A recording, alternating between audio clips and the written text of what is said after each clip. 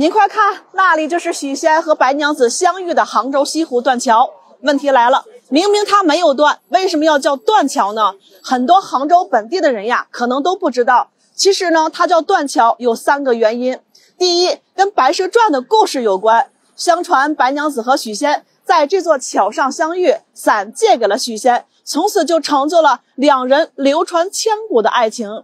可是彼此相爱的两个人呢，却也是在这座桥上。被不懂爱的法海强行分开的，断桥不断，肝肠断。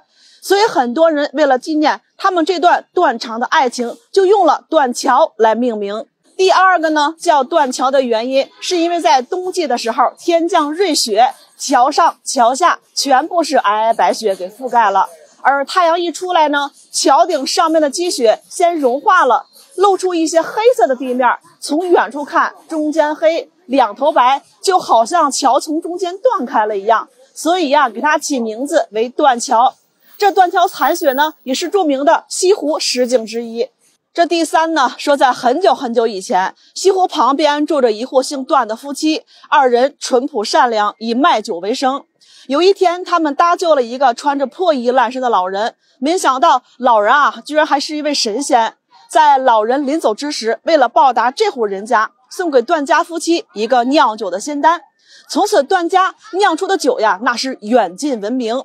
段家呢，也因此有了钱。但是段家夫妻知道这都是那仙丹的功劳，为了报答老神仙，段家啊就在这个地方西湖边上修建了一座桥。当时人们呢，把这座桥叫做段家桥。段。和断是谐音，逐渐的段家桥就变成了断桥。这三种来历，您觉得哪一种更加靠谱呢？把它打在评论区。关注木子，下个视频带您走进打虎英雄武松墓。